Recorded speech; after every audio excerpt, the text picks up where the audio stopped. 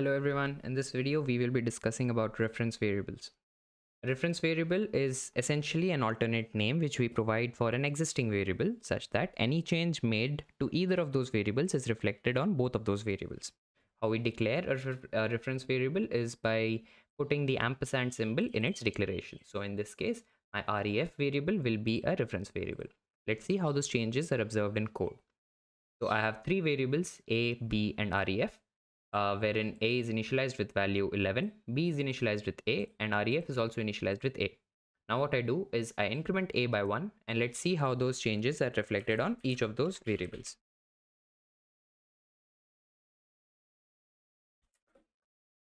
So since we increment a by 1, its value gets incremented by 1. b was initialized with the value of a and we are not making any changes to b, so b remains as 11. But ref is also increased by 1 since it is a reference variable referring to a. What I do now is I reinitialize those values and I increment the value of b by 1. So let's see what changes are observed. Since b is incremented by 1, its value will now be 12. We are not touching a uh, in any way, so a remains as 11. Same goes with ref, ref also remains 11. So any changes made to b are not reflected on a or ref. I uh, again initialize those values. This time I make a change to ref wherein I increment its value by 1. So let's see what the changes are observed. Since b is not being touched, b's value remains 11 as well. ref was incremented by 1 which is observed here wherein ref's value is now 12. Since ref is a reference variable to a, the change made to ref is also reflected on a. So a also now becomes 12. With the help of reference variables, uh, we are able to perform certain functionalities during function calls. So there are two types of ways in which we pass values to a function. So it's called pass by value or pass by reference.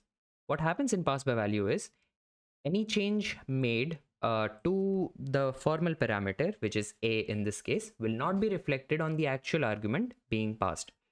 So a will actually get will copy the value which it gets from its actual argument. And any change we made uh, in these function block will be reflected on a itself but not on the actual parameter. So we observe that here. So what i'm doing here is initializing the value of b to 10 uh, before calling the function i print its value. I call the function modify wherein i pass uh, b as an actual argument to that function. And then i'll print the value of uh, b which is obtained after the function call. So before the function modify is called, we observe that b's value is 10. Since it's a call by value, we uh, a will actually get the value which b contains. So in this case, a will get the value 10. We increment a, but those since it was a pass by value, b does not actually change. So b still remains 10.